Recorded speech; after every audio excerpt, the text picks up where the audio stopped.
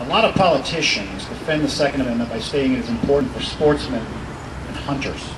While this is true, the intention of the Second Amendment was to prevent infringement of citizens having the means to enforce their own self-defense, which is a God-given right, and to establish an armed public as the ultimate check against an oppressive government, foreign or domestic. Some say, well, that can never happen here.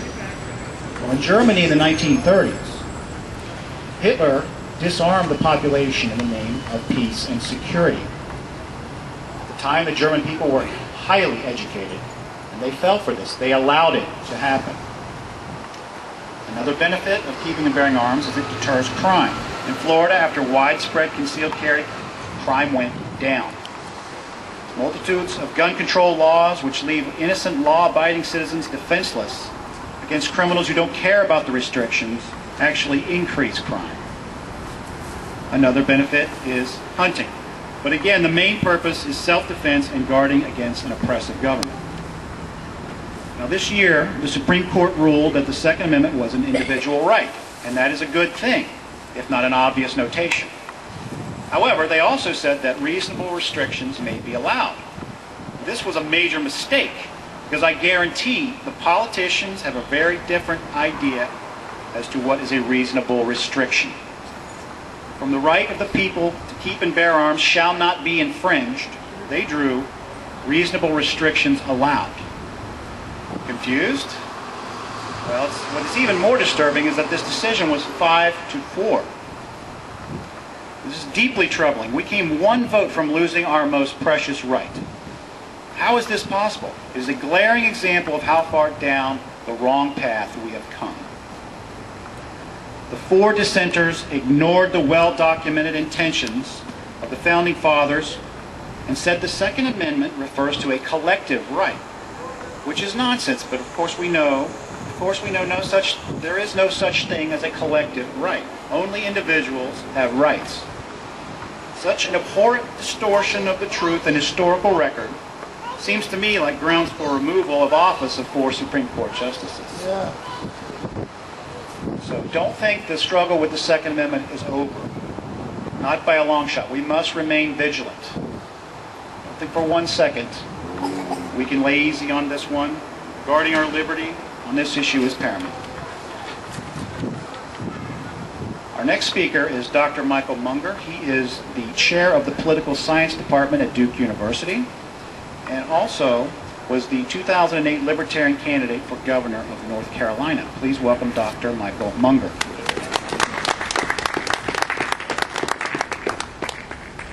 Thanks. I may seem a little bit fried. I just drove up from uh, from North Carolina. Uh, it's a real pleasure to be here. Um, the, I have a discussion fairly often with uh, law and political science scholars from other countries uh, at conferences or uh, uh, academic meetings. And the, the, the striking thing to me is the difference in the interpretation of what many legal and political science scholars, who otherwise seem, they're very well educated, they're certainly very knowledgeable of uh, the literature of political science, which may be a drawback or an advantage, it's hard to say. Um, but particularly, the, the, particular difference that I note most is between people who are, say, uh, a law school in France uh, and uh, someone schooled in the legal tradition of the United States. The biggest difference is what constitutes the will of the people. If you ask someone from France, what is the will of the people, they'll tell you that it's embodied in legislation. Well, when I look at the Bill of Rights, I am convinced, and there's plenty of other evidence, but all you have to do is look at the Bill of Rights and you'll easily be convinced the framers of the U.S. Constitution did not believe that legislation was going to be the will of the people. In fact, I think that the simplest way I can think of is, and I often put it this way when I'm making speeches, is that democracy is two wolves and a sheep deciding what's for lunch. Under no circumstances should we say that we're going to put a majority in charge of the rest of us. Why would anyone have the right to be able to tell me how to live my own life? Now, there are some things, there is, as Professor Lark said, there are some minimal requirements to be able to say these are the rules. Anyone who breaks, anyone who harms someone else, we're going to allow certain circumstances under which they might be deprived of their liberty or property. But due process and evidence and a lot of care in exercising that really powerful uh, action of government is, is, is has to be required. Well, when I look at the, the Bill of Rights, what I see is a skepticism of the actions of legislature so profound, I wonder what it is we now teach in, uh, well, political science departments or in high school civics. Because if, if you ask someone, is the United States a democracy? If you ask a school child, is the United States a democracy? Should it be a democracy? They'll say yes. And what it means by democracy is that we're all bound by the will of others. Well, the French philosopher Jean-Jacques Rousseau asked a really good question in The Social Contract. And the question was, how can it be that man is both free and yet bound by wills not his own? How can it be that man is both free and yet bound by wills not his own? And then he gave the wrong answer. And we have adopted that wrong answer ourselves. We have adopted it by ignoring the contents of the Bill of Rights. We have adopted it by ignoring the fact that it's individual rights and the individual expression of political beliefs that are the key to the functioning of what we in fact are, which is a constitutional republic. We're a republic in the sense that there are a lot of restrictions on um, how we can act together, and we're constitutional in the sense that the Constitution, not legislation, but Constitution, embodies the will of the people.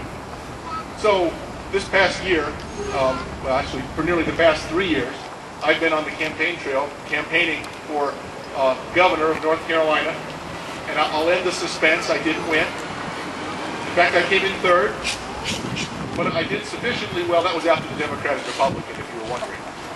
But I did sufficiently well that the Libertarians now in North Carolina are on, on the ballot for the next four years. We don't have to spend a quarter of a million dollars poured down a rat hole to try to get the darn signatures.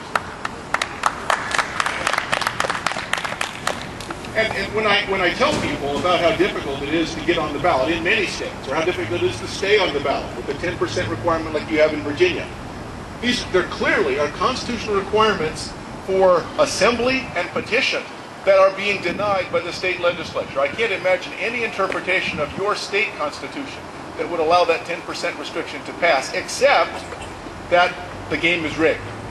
So, when I was out on the campaign trail, what I found and I'll, I'll, I'll, close with this. What I found over and over again was when somebody asked me, well, can you summarize what it is you want? First, I'll say, well, can you tell me what the Democrat wants? Can you tell me what the Republican wants? Both of them are running on some version of the platform, vote for me and I'll give you other people's money. Well, that's not my platform. It's something rather different. What I would like is a government small enough to fit inside the Constitution. And the box that the Constitution is, is constructed of is the Bill of Rights. Thanks for listening. Yeah.